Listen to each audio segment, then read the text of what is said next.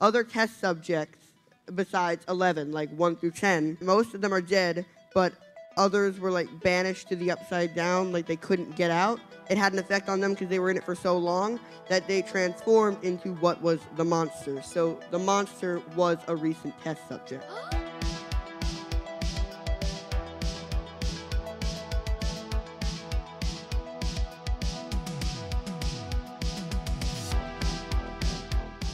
Rejected 15 times.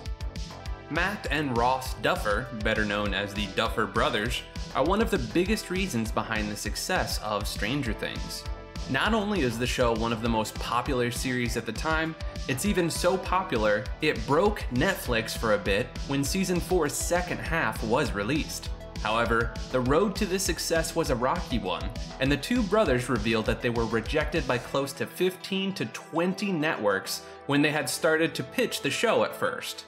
Some networks did show interest, but they were still ultimately unwilling to let people that were so new to the industry create such a show. Eventually, Netflix was the only one that gave the green light, and as everyone can see, it was one of the best decisions that the streaming giant ever made. Millie almost quit. Millie Bobby Brown almost quit acting right before she landed the role of Stranger Things, which would have been a big tragedy for the show because most of us cannot imagine anyone else playing the role of Eleven. The reason behind her almost quitting is because she received a lot of rejections over time and was unable to land a good role. She acted in a few commercials and really wanted the role of Lady Lyanna in Game of Thrones. She gave the audition for the Game of Thrones role and was unfortunately rejected. This made her think that the industry is too difficult and perhaps that she should quit. But fortunately, she landed the role of Eleven on Stranger Things and has been on an upward trajectory in terms of her career ever since, starring in many other projects, such as the movie Enola Holmes. Historically inaccurate, Stranger Things is a show that takes place in the 80s, and the entire crew of that show tries their best to commit to that period. Whether it's the way the characters talk, act, or what we see in the environment, everything for the most part is accurately made and does not show anything that did not exist in that time. However, this is not applicable to everything, because everyone makes mistakes. A subreddit hilariously pointed out that sometime in the first season of the show, there are some air conditioning units that originated in the 1990s and were around until the early 2000s, which is a decade ahead of the time period that Stranger Things takes place in. Sweethearts on and off camera. Nancy and Jonathan are one of the most beloved couples in TV, at least when they're not going through their relationship problems, but something not everyone knows is that they're just as much as sweethearts behind the scenes as well. After meeting on the set of Stranger Things, the actors who portray the two characters started dating in real life and have been together ever since. Although some speculated that they might not be together for some time because of the fact that they stopped posting as many pictures together on Instagram. There are behind the scenes pictures of them flirting off camera from the production of Stranger Things Season 4, so there seems to be no trouble in paradise. Ups and downs. The Duffer Brothers have always praised Millie Bobby Brown as an actress and have called her gifted at portraying the roles that she has to. And they have even particularly praised her as an actress in ways that someone her age usually fails to follow, because it takes a lot of attention and dedication to commit to a character.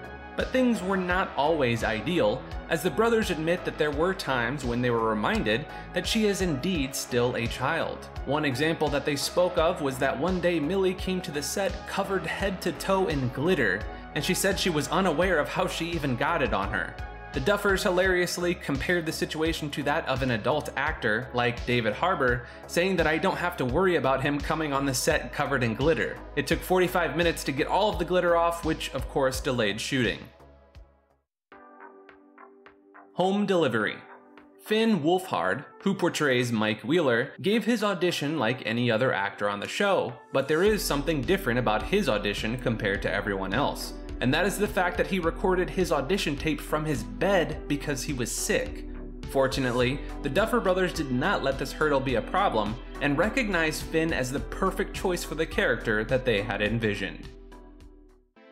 First of many, Dustin. Gaten Matarazzo, who was the first actor to be casted in the show, portrays the role of Dustin. He was considered perfect for the role, and the condition due to which he does not have a proper collarbone, which is addressed in the show, is a hereditary condition involving abnormal development of certain bones in the body. E.T. Go Home.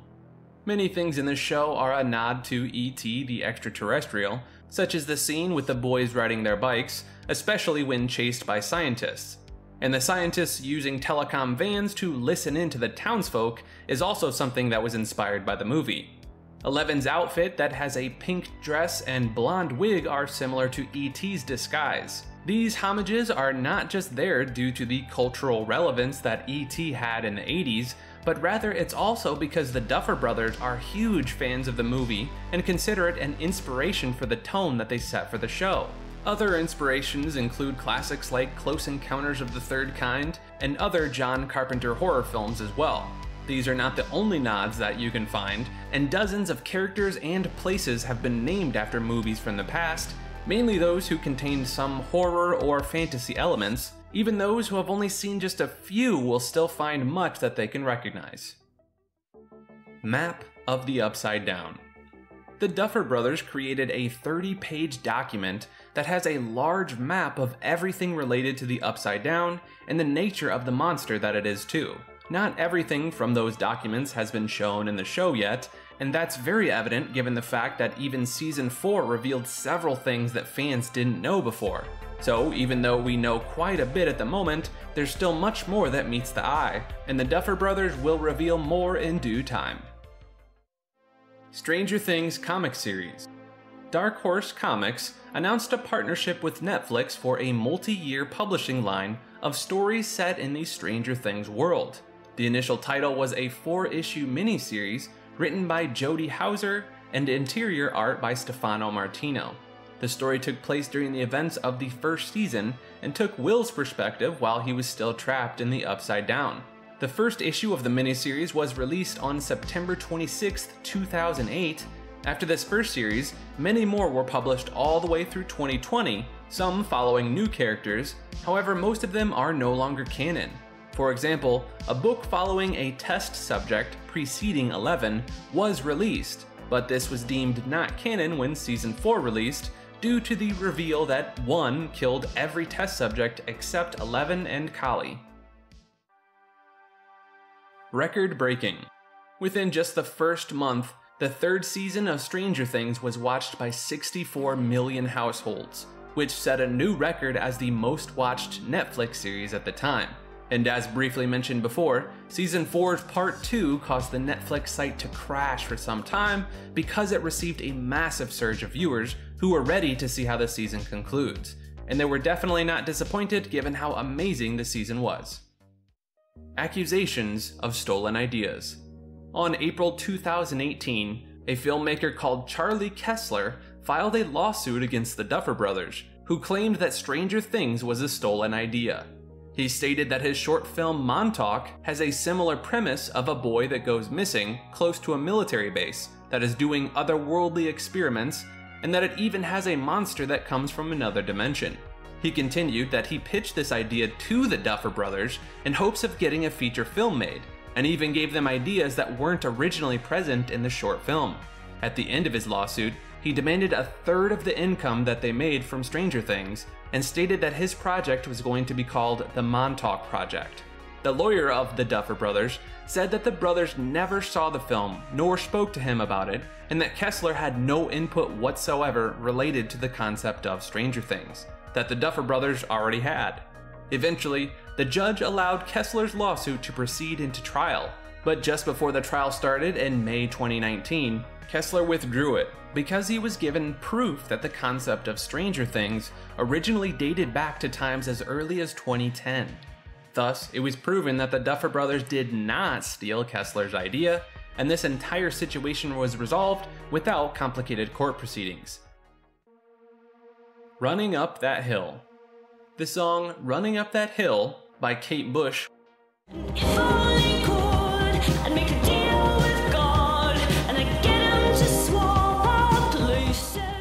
was originally released in the year of 1985, and it did not go higher than number 30 on the US Billboard chart. It wasn't a flopped song by any means, but it was not the biggest hit in her discography. Then comes Stranger Things Season 4, and the song was used as the theme for Max. After the song was played numerous times for the character, it ended up becoming incredibly popular, and it became the number one song on the US iTunes chart in the first week of the release of the episodes that use it. This resurgence of the song ended up making a total of 1.9 million euro in profit, and it's being joked about that 37 years is the longest that a song has taken to become popular. As for the singer herself, she says that the best thing about the resurgence is not the money, but rather that the fact that a whole new audience will get to experience the song. Separate Ways Staying on the topic of music, Steve Perry, who was the former lead vocalist of Journey, was super impressed by the Stranger Things Season 4 remix of their hit song, Separate Ways.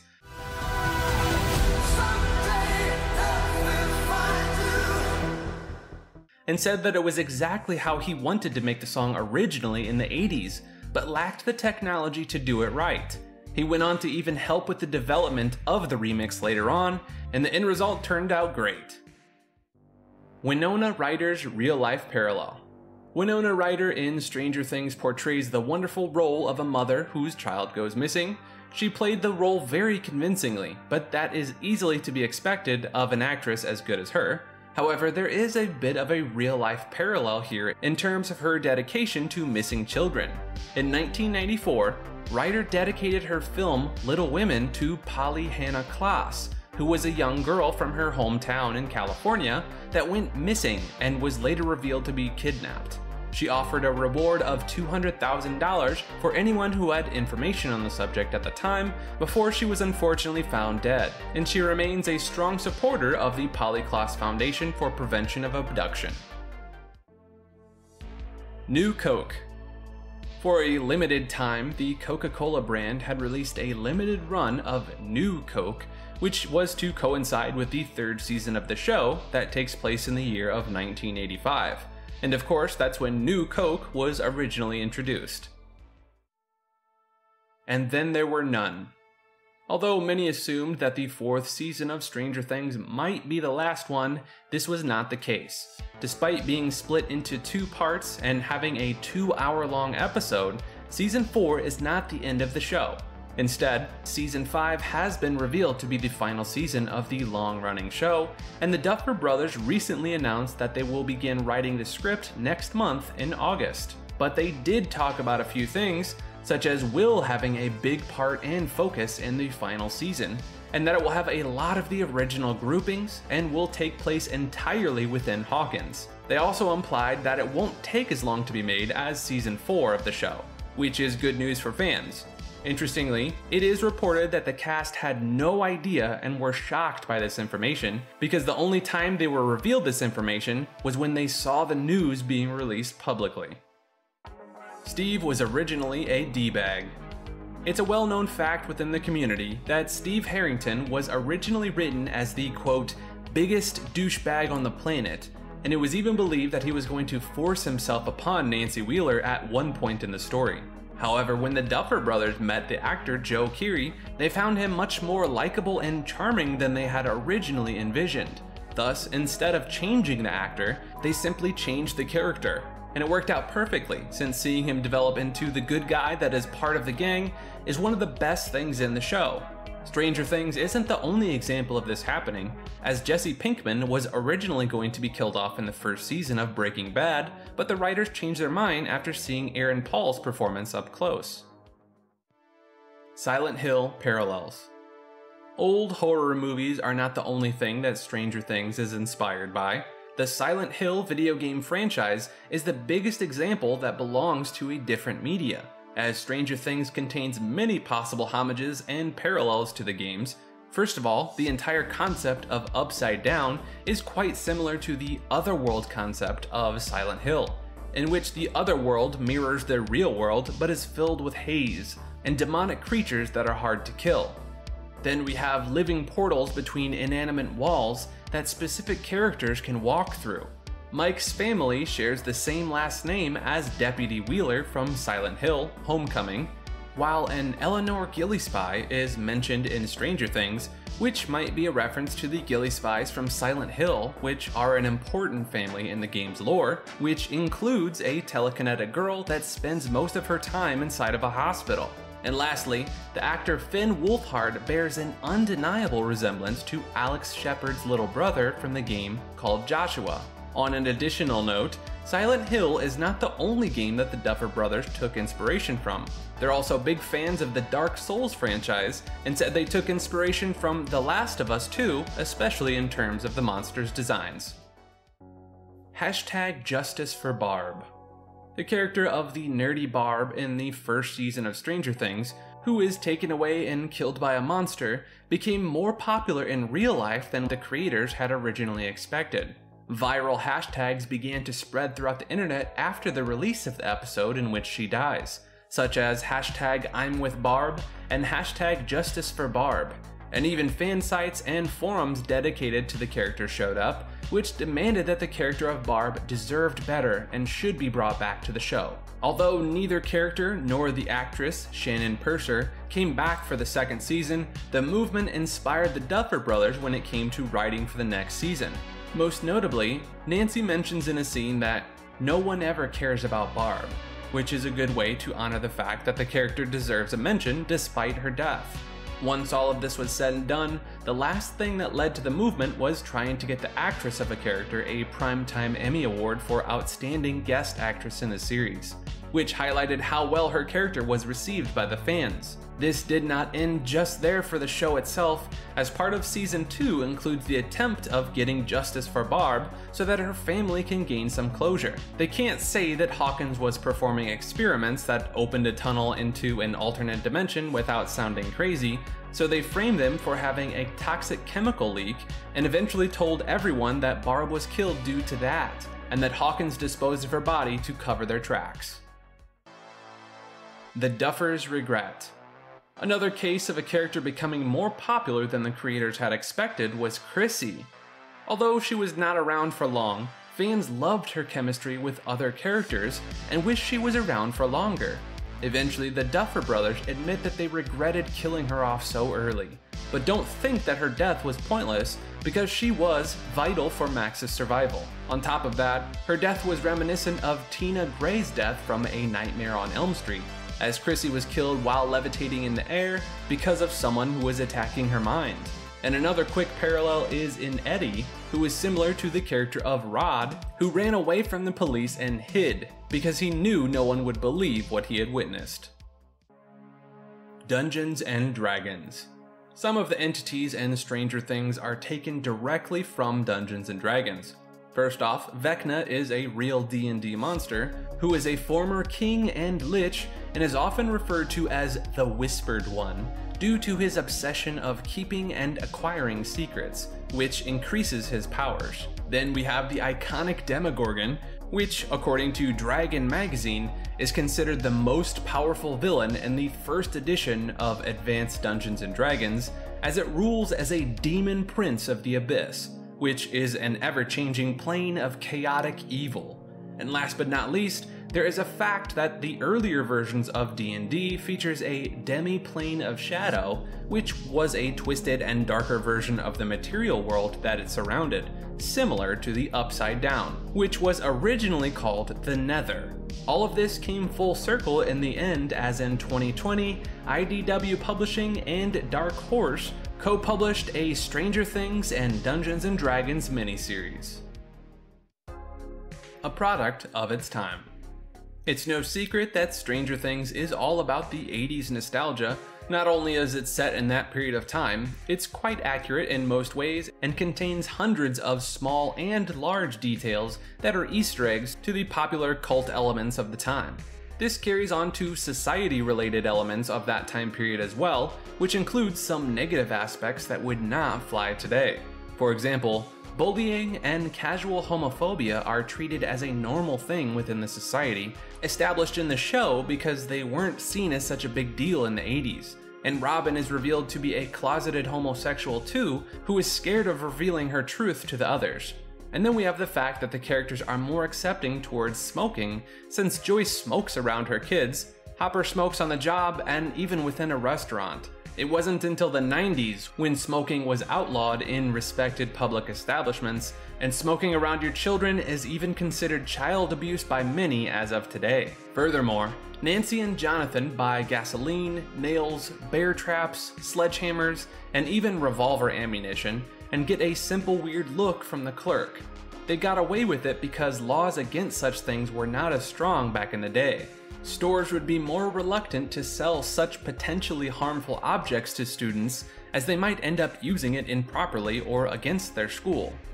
There's also the fact that children in the show are able to wander as much as they want and even if they're gone for long periods of time, their parents get only a little worried but don't think anything bad must have happened to them. It's because it was easier to go around and stay at each other's houses back in the day, whereas people are more likely to remain in their enclosed environments today. And lastly, middle aged mothers are ogling Billy and finding him super attractive, and then he proceeds to fat shame a kid. Hey, lord ass! No running on my watch! You want to be banned for life, lord ass? However, the women don't seem to care about this, and no one comes to the child's defense. Of course, all of these things still exist in our society, but they are far more frowned upon now, and not considered as normal or acceptable as they once used to be. And you're likely to see such behavior get shunned when it's displayed publicly. Unlike the other things, of course, there's nothing wrong with kids hanging out more outside of their houses, but it's still worth mentioning as it was something people of that generation would always tell you stories about, whereas the children of today typically have many more restrictions. Genre hopping. Works of fiction usually stick to a certain genre and often combine two or three of them at best. However, Stranger Things never seems to settle on what genre it belongs to. Although sci fi and horror elements remain consistent, it also delves into real science, supernatural powers, super science, coming of age stories, and even dark comedy at times. It's also an odd mixture between a show meant for teenagers and still contains the brutality that you might expect to see in an adults only show. Ultimately, Stranger Things has a little something for everyone, and the writers have done a great job at keeping it consistent, and it doesn't feel like a mess despite utilizing so many genres. Fan theories. When you start to look at the fan theories for Stranger Things, the one thing that you notice immediately is that many of them turn out to be true later. For example, one of the most common theories that you'd hear is that there was a test subject before everyone else who successfully mastered his skills, and in a way that later turned out to be Vecna. Other theories usually link the show to other universes, such as Stephen King's Multiverse, Eerie, Indiana, Silent Hill, Twin Peaks, Gravity Falls, and Welcome to Night Vale. The Upside Down. Many theorize that the Upside Down is perhaps a post apocalyptic world in an alternate dimension, or perhaps it's the aftermath of an alien invasion. The latter is linked to how Season 2 strongly implies that the ruler of the Upside Down, the Mind Flayer, tries to take over as many dimensions as possible. So it's entirely possible that the Upside Down was once a normal world like ours, but was taken over by aliens and eventually destroyed, with little to no human life left inside.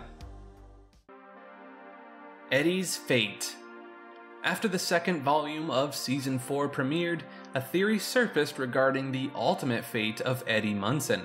Many fans believe that Eddie is not truly dead. The theory draws parallels to Eddie's D&D campaign predicting the outcome of this season. When Dustin rolls first, but only manages to roll an 11 and fails to beat Vecna in the campaign. Dustin's roll predicted the final episode, where 11 does actually lose to Vecna. Following the trend of D&D lore and foreshadowing, it's theorized that Eddie will actually return as Kas. In Dungeons & Dragons lore, Kas is a human vampire who uses a shield and a sword as his weapons, just like he did in his final moments.